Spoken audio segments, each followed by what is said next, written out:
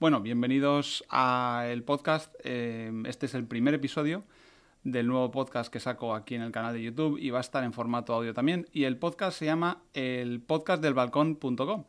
Y esto aparece porque se me ocurre durante la pandemia que estamos viviendo. Eh, no podíamos más que salir al balcón a aplaudir.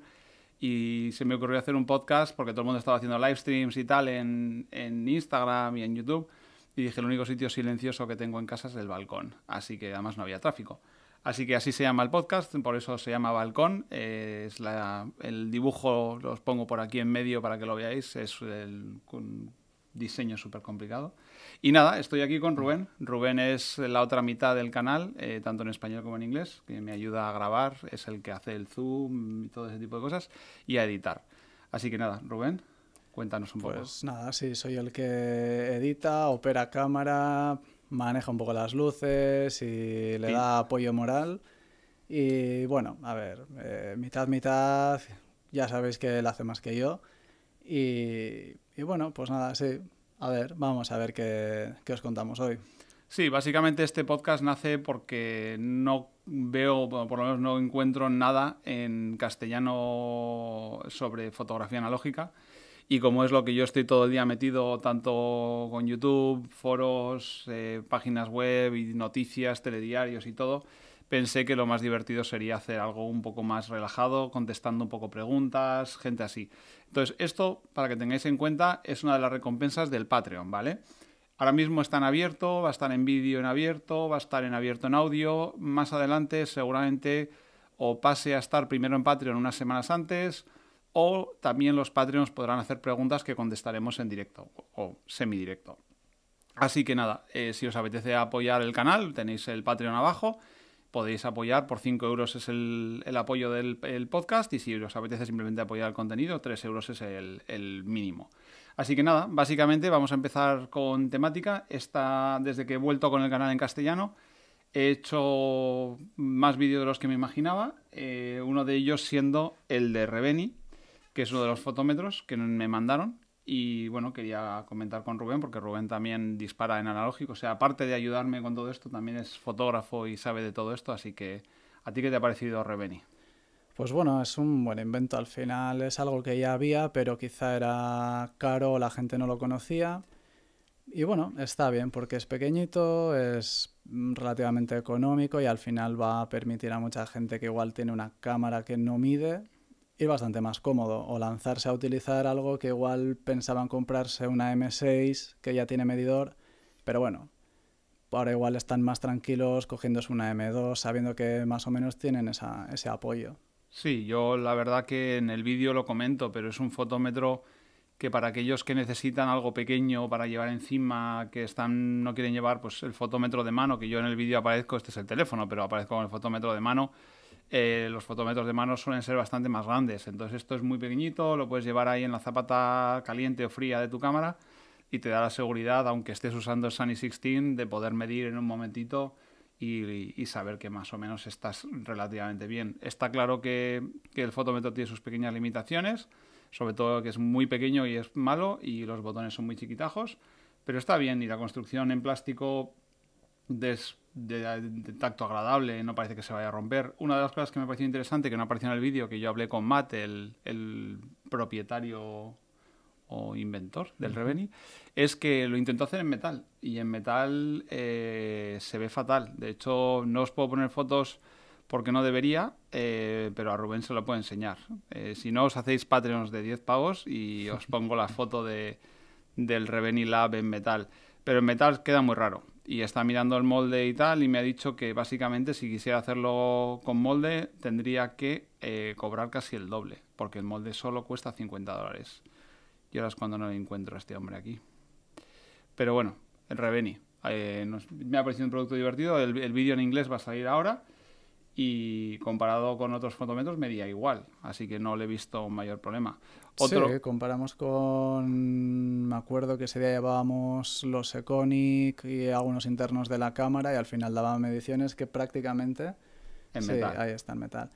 Bueno, realmente no, no aporta tanto que sea metal porque es un acabado, bueno, imagino que ese no es un acabado final, Sí, sí, es el acabado Ese es el acabado final. Pues entonces mejor en, en, plástico, Porque no es un acabado demasiado es pulido. Que, es que el, ahorro, el ahorro que, te, que él te pasa al hacerlo en plástico en vez de en metal mm.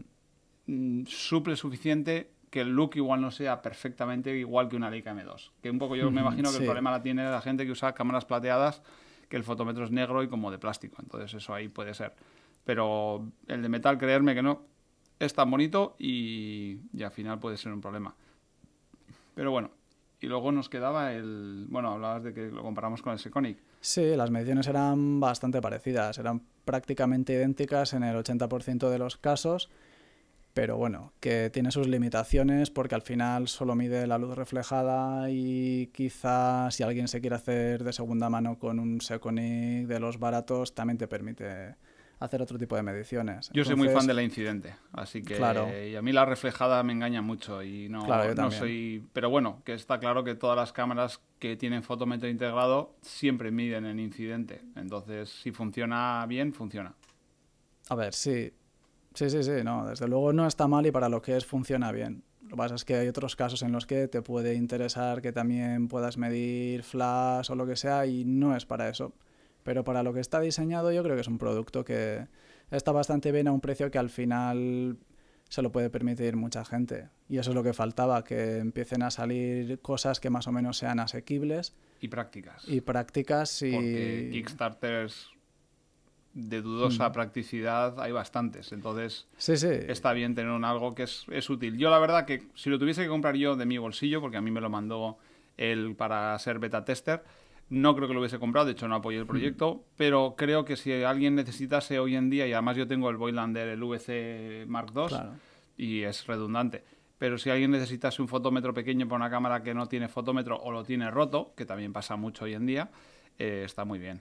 Pero bueno. Eso es, yo en mi caso opino parecido. Realmente lo recomendaría para alguien que justo necesita algo parecido, pero yo no lo compraría aparte de porque ya tengo fotómetro de sobra, los uso de otra manera, los uso más para flash que o mido la incidente y ya está, pero realmente está muy bien para el cliente para el que está diseñado. Yo creo que además el, el fabricante o el inventor o productor, como le quieras llamar, lo ha sacado en tiempo récord, porque no es de estos Kickstarter que salen y se tiran como un año entero recaudando el dinero y después sí, no, a mí me sorprendió que estaba... Que está ya, está desarrollando, o sea, ya está a punto de salir. Eh, yo ayer en el telediario saqué, bueno, ayer día 30 de junio, que saqué el telediario, básicamente está ya produciendo. Yo me hablo mucho con él por WhatsApp y, es un tío súper agradable y está con muchas ganas de hacer más ideas. O sea, que van a salir cosas muy guays de esta marca. O sea, que Reveni Labs, eh, quedaros con el nombre, que vendrán más cosillas.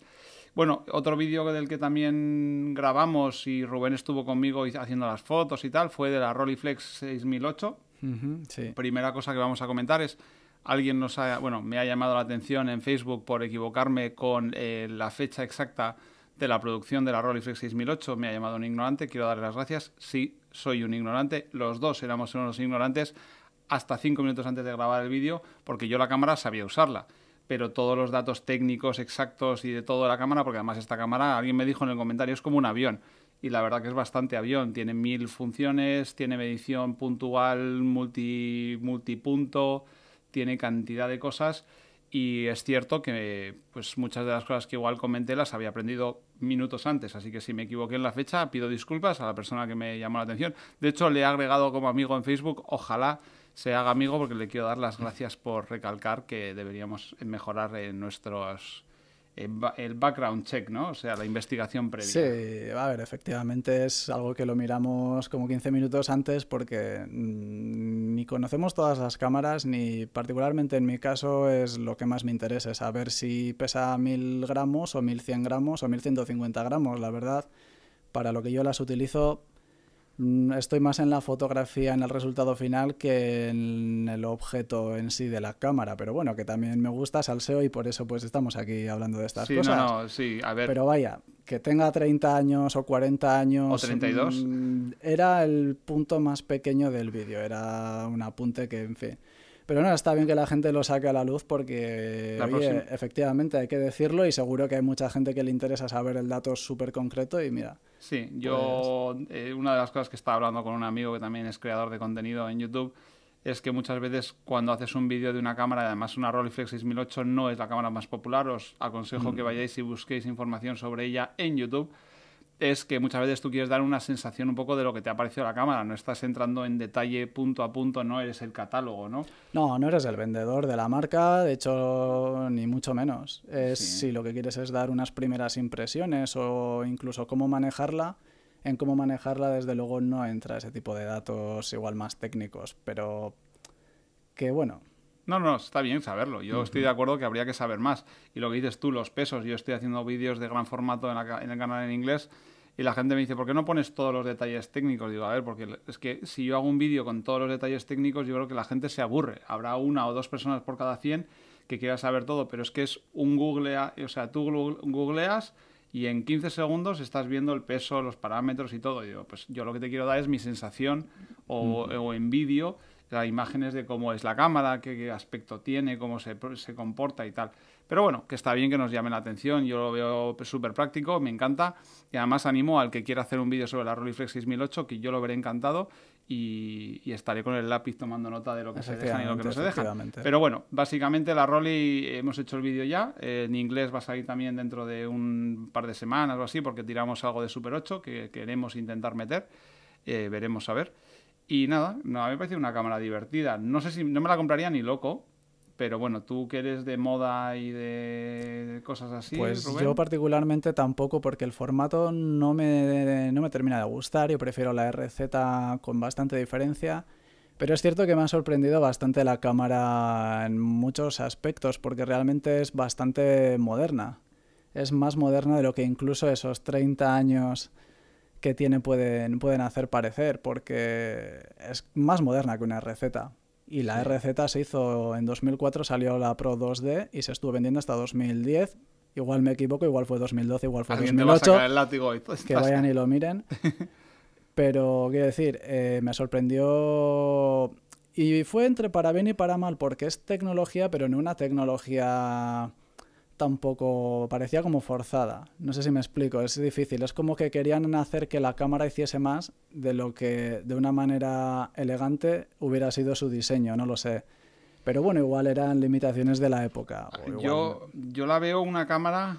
A ver, yo, si lo piensas en el mercado de la, de la época en la que salió, me da igual si son 15 o 37 años, eh, sí va a un sector profesional, porque las cámaras de formato mm. medio, quitando las Lubitel y dos más, todas eran del sector casi profesional o profesional.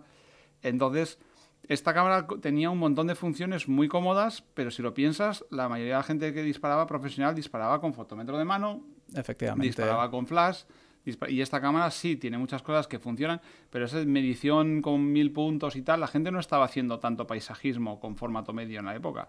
Entonces, yo ahí la veo un poco que quizá intentó abarcar demasiado en un mercado en el que querían mejor, o sea, más em, seguridad en el manejo, o sea, que no se rompiese, más dependencia, y para eso yo creo que la Hasselblad y la mamilla receta y la RB ganaron. Para mí el problema que tiene es que se queda a mitad de camino entre todos los automatismos y el buen funcionamiento que tenía las de 645, que es así que supieron de alguna manera incorporar un autoenfoque que va bien, una medición que era casi como manejar una de 35 milímetros. Entonces, no es ni tan automática como esas, pero tampoco se sentía como una receta de robusta, sólida mm, y aparte el formato, que luego eso es un gusto ya personal. Entonces se queda como a mitad de camino entre las dos. Sí, a ver. Para mi gusto, pues bueno. Yo creo que, que lo que comentas en cuanto a formato es que la RZ ganó con de goleada. Y este 6x6, y además es eso, las de 645 como comentas, la Pentax N, la Pentax N2, la Contax 645, la mamilla 645 autofoco y tal, eran cámaras que sí, al manejo eran como una de 35, venida más, y esta es una 6x6, enfoque manual, eh, con muchas ayudas, pero incluso, a ver, yo por ejemplo, yo en el vídeo lo digo, esta cámara tiene enfoque, o sea, perdona, eh, prioridad de apertura y también te deja hacer prioridad de velocidad. O sea, que puedes usar las dos en automático. ¿Quién en su sano juicio disparaba con la apertura aleatoria por el ordenador de la cámara, porque tiene un chip o lo que fuera, y también la velocidad? O sea, es que yo no me la juego ni loco a disparar así A día de hoy, siquiera. A ver, a día de hoy se puede y en el momento igual las fotos salir bien saldrían. si se la das a un amigo que no sabe. Pero yo creo que es lo que intentaba decir antes, que es el diseño no es el más acertado. Es como que intentaron poner prestaciones por vender prestaciones, pero que igual no era ni lo que los profesionales demandaban o querían, o igual el producto no se entendió tan bien en su momento. Pero bueno, no lo sé. Luego, curiosamente, pues también está la Fuji de 6x8, que en algún sentido sí que era como una RZ, pero igual un poco más tecnológica también. Y yo creo que no es que las haya comparado, pero son muy distintas. Es que la Roley, por mucho que sea una Roley, mm, no me dio una sensación como de ni buen diseño. No lo sé. No, sé, no lo tengo claro. Estamos siendo especialillos también. ¿eh? Sí, la cámara está muy bien. La cámara y hace cosas muy guays. Pero yo la, la, GF, la GX680 de Fuji para mí es la cámara de estudio por, yo creo que la mejor que ha habido de formato medio, porque para empezar permitía movimientos, descentramientos, tilt shift, eh, todo lo que quieras, ópticas brutales eh, y automatismos de auto, eh, autoavance de rollo, carga, descarga, y era 6x8 con una trasera Polaroid de 8x8, que lo cual era una maravilla. Entonces esta Rolly, no sé, yo ahí, a mí me la prestó un amigo que comento, eh, otra vez me olvidé, José Alberto Nicolás, eh, de Murcia, que me la prestó y, la primera vez que la tuve, la tuve un año y disparé como cinco rollos y me encantó. Pero nunca llegué a hacer el vídeo, ahora me la he vuelto a mandar, yo le he prestado la RZ y esta vez le hemos hecho el vídeo, hemos hecho todo. Y la verdad que me parece una cámara divertida. Se la recomiendo al que necesite las ayudas, porque a día de hoy yo creo que no las necesita tanta gente. Pero si a alguien le apetece, está bien. Y ópticas ahí buenísimas. Lo que pasa que es una cámara que se vendió poco hmm. y es más difícil encontrar accesorios y cosas. Pero bueno, ese es el vídeo de la Role. Que yo la verdad que si lo queréis ver, dejaremos los links abajo. Pero bueno, está en el canal y hay siete vídeos o así. Y está bastante bien. Luego otra cosa que queremos comentar en el podcast, que son algunas de las preguntas que tenga la gente. Eh, a mí me ha mandado una pregunta en un Patreon preguntándome que quería comprarse una Rolei de estas TLRs eh, bifocales, eh, la GX, ¿vale? Rubén ya me comentaba antes de empezar que no conoce mucho las Rolex. Yo he tenido Rolex, pero siempre he tenido muy mala suerte. Y he tenido la 28F, que es la más famosilla, y tenía unos arañazos en la pantalla de enfoque y no me gustó nunca nada. Y yo con, no sé, con el TLR no me llevo bien. Y yo le recomendaba a este Patreon que, a ver, la que me mandaba, la GX28, eh, se vendían 2.000 euros. Pero fue la última, eh, más o menos, que se vendió. Creo que estaba la FX y luego la GX también estaban un poco a la vez, antes de que Rolleiflex quebrase pero básicamente yo le he recomendado que la 28F, que es la, que lleva el planar y tiene más fama y tal, se están vendiendo en los 1.500, 2.000 euros. Y, yo creo que es por 2.000 euros el último modelo y lleva fotómetro integrado como la Roley que hicimos el vídeo. Entonces tiene sus LEDs y tal, y a mí me parecido que es una buena opción. A ese precio, si uno está dispuesto a gastarlo. Efectivamente. En vez de una cámara de 50 años, perdonar si me equivoco otra vez, eh, o una cámara que puede tener 5 o 10 años, porque Rolleiflex estuvo fabricando hasta hace 4 días, yo me tiro a por la más moderna, aunque igual no sea perfecta, perfecta, perfecta, pero es que yo la 28F que tuve, las pantallas de enfoque ya empiezan a notarse bastante la edad y viñetean. Sí, yo creo que yo particularmente, efectivamente, las Rolei no, no controlo mucho, las TLR en general no, no me gustan, no me interesan, entonces no lo sé, pero bueno, visto el precio que rondan estas cosas, igual más vale la pena coger la que... Porque al final también puede ser hasta una inversión. Al final son cámaras que parece que están subiendo de precio y oye... No, no, y tienen acabados que están como con cueros que están muy bien, tienen como algunos dorados o plateados que están bien. A ver, yo la cámara la veo que está bien y a 2.000 euros, que tristemente hoy en día ya empieza a ser un precio eh, de las cámaras premium bastante normalito, o hmm. sea, las mamillas y tal se están empezando a poner a 2.000 euros casi todo, las Expan y demás, pues bueno, yo, yo recomendé que no lo veo mal, sobre todo si, si es para usarla y demás. Em, otra cosa que quería también comentar en el podcast, que también iremos trayendo poco a poco, son cosas que nos van llegando, ¿vale? Y esto es una cosa que llevo tiempo con, con el dispositivo y esta era la pieza que me faltaba. Rubén, hacer los honores y lo abres y lo vemos. Bueno, bien, vamos a abrir. Para aquellos que, no lo conocen, eh, el vídeo que hice de One Instant y de la FP100, básicamente la opción de la FP100 era para disparar Polaroids en cámaras de formato medio. Pues esta es una solución, o es la parte, Rubén está viendo el unboxing, esta es la solución para poder disparar eh, Polaroid Originals o Polaroid que se llama ahora, que es Impossible, de hecho podéis ver que aquí pone Impossible, aunque se ve un poco mal, pero ahí lo veis. Y básicamente este dispositivo era un, invento que se ponía aquí, el iPhone 4, 5S e y no sé qué más, eh, tu teléfono, lo ponías ahí y proyectaba la imagen de tu teléfono sobre la Polaroid y abajo hay una cámara y salía la foto.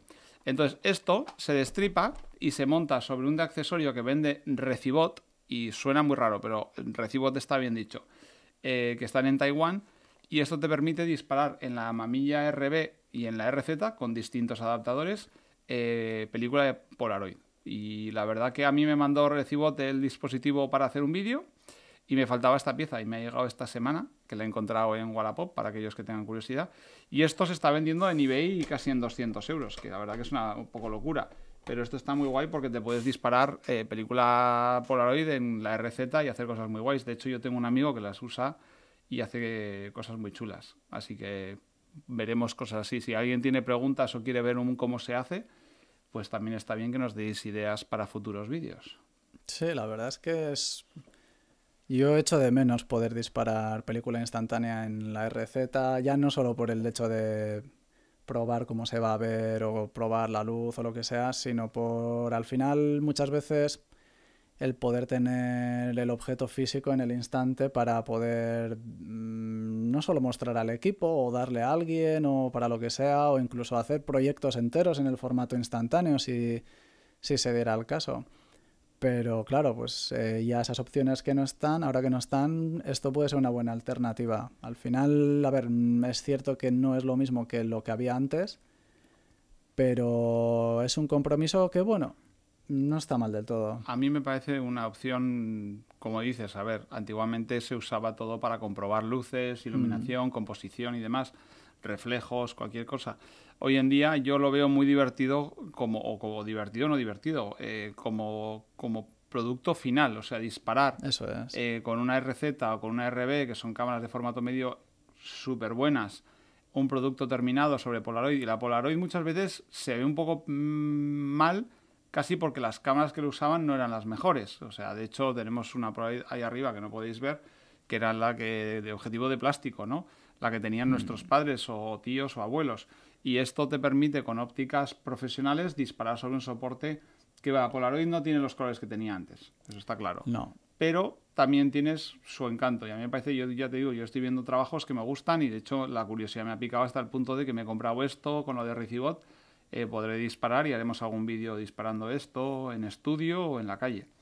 Claro, al final es un recurso estilístico el que sea instantáneo, es decir, es porque quieres ese soporte, que sea el trabajo final en ese soporte, bien porque te guste los tonos, porque te guste el propio medio en sí, que lo puedas hacer el original, que solo exista un original y exponer el original o lo que sea, ¿no? Al final, entonces, aunque no sean los mismos tonos que había antes, la misma calidad que había antes, bueno, puede seguir siendo interesante para algún grupo de gente. Y al final sí que es cierto que, aunque le puedas poner otros objetivos, puede que no sea tan nítido como otras alternativas, pero bueno, sí que tienes esa capacidad de poder cambiar la distancia focal porque pones otros, montas otros objetivos que aunque no sea no vas a llegar nunca a una nitidez, que es que el propio medio no es para eso, no el, la película instantánea esta Polaroid no era para eso tampoco, para la nitidez, sino para la espontaneidad pues bueno, puedes poner el 500 milímetros que quieres tú para la mamilla, pues hacer pruebas con él y puede, salir cosas interesantes.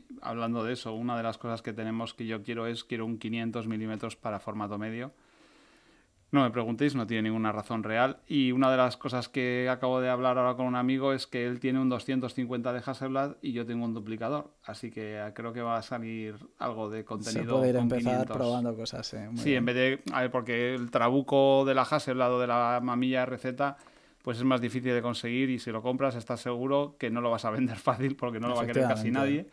Pero sí, yo tengo ganas de probar con, ópticas largas. No sé si haré retratos, si haré retrato y haré paisaje o haré, no sé. Pero tengo, tengo ganas de probar. Podemos hacer 500 milímetros y Polaroid. Pues sí, yo creo que eso se vería. La verdad es que el título ya dan ganas de pinchar. Sí, sí, sí.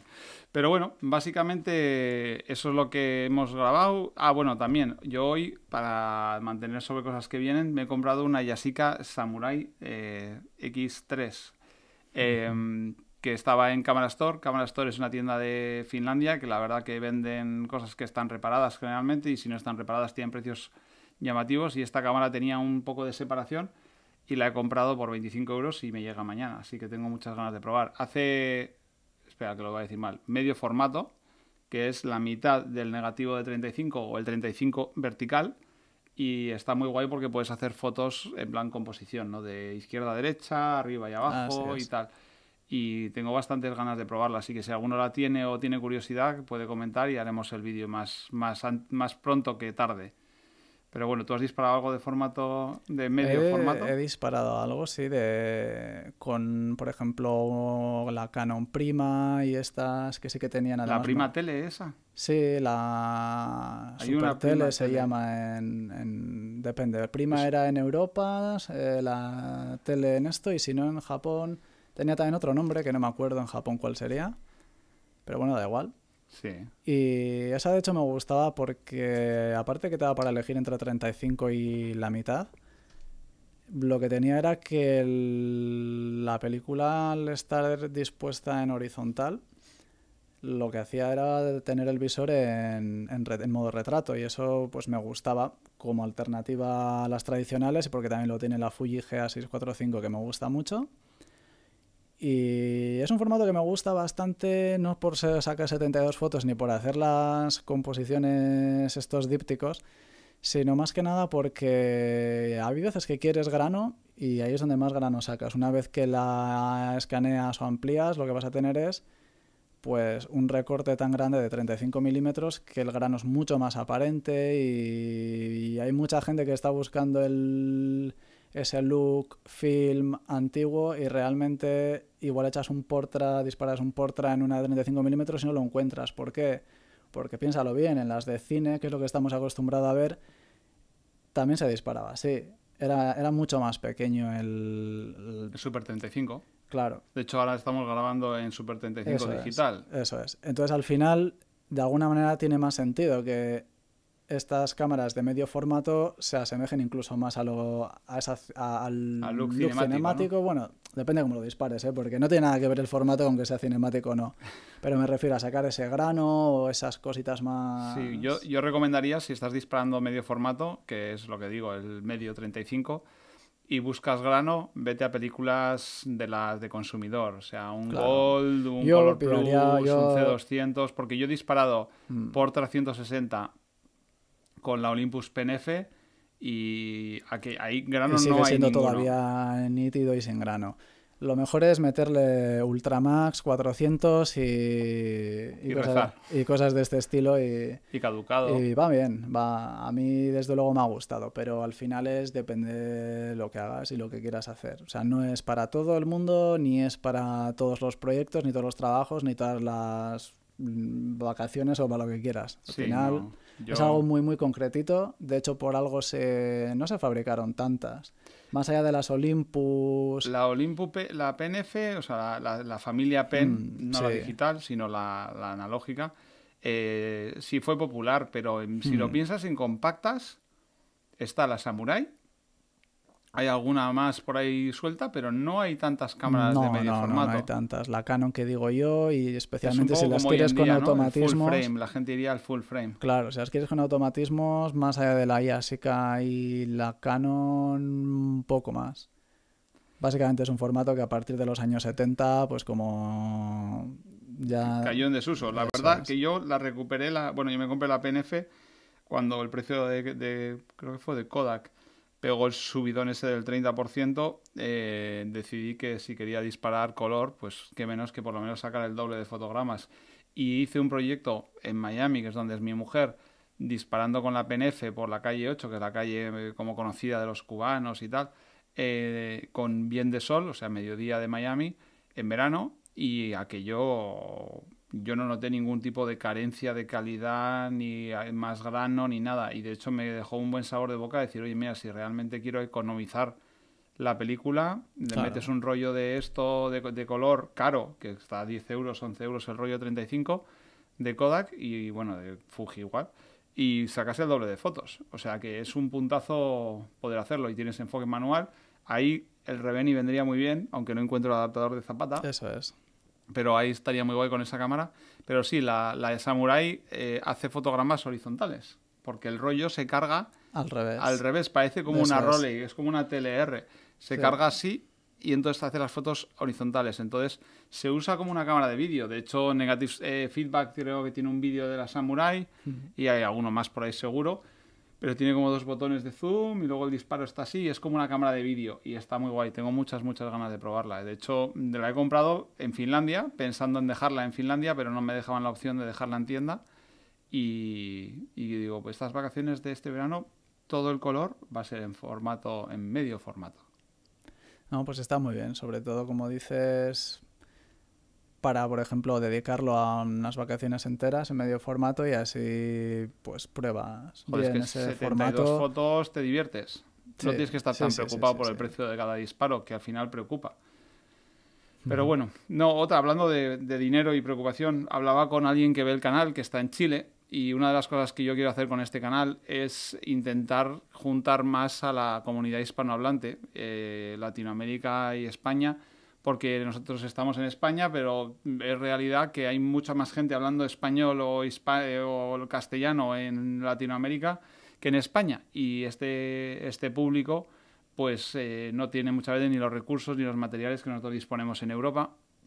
Y una de las cosas que me va a apetecer hacer bastante es eh, consejos para economizar o hacer tú mismo, pues desde escaneo, revelado y cosas así.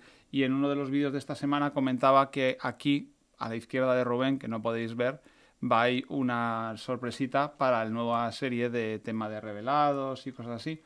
Y tengo bastantes ganas, así que si sois de, Latinoamérica, me encantaría saber de dónde sois y, cómo está el sector, porque la verdad que mm, se oye muy poco en Europa sobre cómo está el sector allí, de si hay emulsiones, si hay papeles, si se puede comprar química, el mercado de cámaras. Yo he oído que el mercado de cámaras está bien, que hay cámaras, pero que el tema de los consumibles está más complicado. ¿Tú tienes conocimiento también de algo de Latinoamérica? Pues la verdad es que no, y, ese es el problema, que no tenemos casi ni idea. Siempre estamos hablando de las diferencias que hay entre Estados Unidos y Europa a la hora de, pues allí Portra cuesta menos que aquí, especialmente en gran formato, en 8x10 aquí es muy difícil conseguirlo.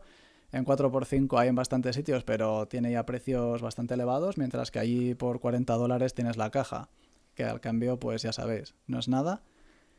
Y, pero no tengo ni idea de cómo estará la cosa allí y al final, por mucho que el mercado de cámaras esté bien, si no hay consumibles, sí, es complicado. es que yo he oído cosas de importaciones, de, de aduanas de importación del 40-50%, que aquí en España tenemos un 25% de todo lo que no sea Comunidad Económica Europea.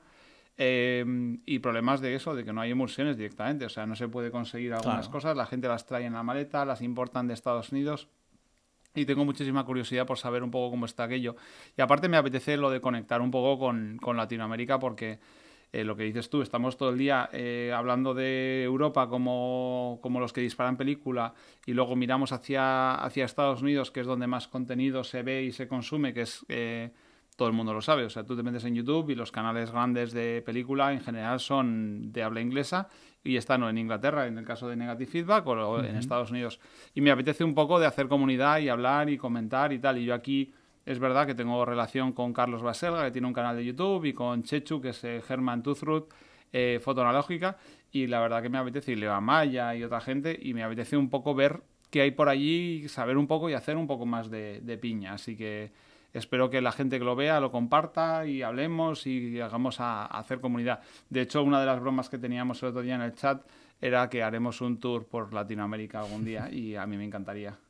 Nos iremos con menos equipo del que se ve aquí, pero bueno, nos haríamos un, tour latinoamericano una vez que pase la pandemia. Estaría muy bien, sí, sí, sí patrocinados por Kodak o alguna cosa así, nos tiramos un farol y nos vamos ahí a Latinoamérica a repartir carretes como caramelos.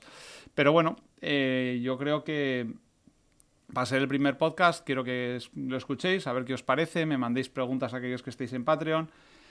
Lo intentaré hacer eh, igual hasta incluso compartiendo en directo en Patreon para que la gente pueda hacer preguntas en tiempo real, si quieren y todo. Y, nada, si hay alguna pregunta, alguna cosa o vídeo que os apetezca ver en el canal principal, pues dejáis un comentario abajo y, Rubén y yo nos pondremos manos a, la obra. Hay muchas cosas que vienen. Tenemos mm, ahora un vídeo review de la Hasselblad 500cm eh, luego vendrá lo de la Recibo, la Yasica, esta Samurai, bueno, y más cosillas. Y luego lo que os cuento, la serie que viene con, con lo que nos queda a la izquierda, que lo voy a dejar para, para cuando salga, para que lo veáis en plan sorpresilla. Así que nada, Rubén, yo creo que podemos darlo por finalizado. Pues sí, ha estado bien. Sí. Y, nada, es el primero de muchos, así que animaros. Sí, no, no. Esto, la idea es, yo calculo que una vez al mes más o menos hablaremos de cosas de este estilo. Y luego también intentaremos comentar noticias, ¿vale? Yo hago un telediario en inglés que Chechu replica en castellano. Y pues alguna noticia importante que haya habido últimamente, pues la intentaremos también abordar en el podcast. Esta semana he estado mirando un poco y quitando Olympus, que básicamente ha vendido su división de cámaras, pero eso no nos incumbe en cuanto a analógico. Eh, no ha habido grandes noticias como para comentar o cosas muy interesantes. Pero bueno, si alguien sabe de algo que le gustaría saber más, que nos pregunte y nos pondremos con ello. Así que nada, gracias a todos por escuchar y ver el podcast. Como os he dicho, es el podcastdelbalcón.com y está también el canal de YouTube, que es Nicola, Nico Yasera, que es mi nombre. Así que nada, gracias y hasta la próxima. Hasta la próxima.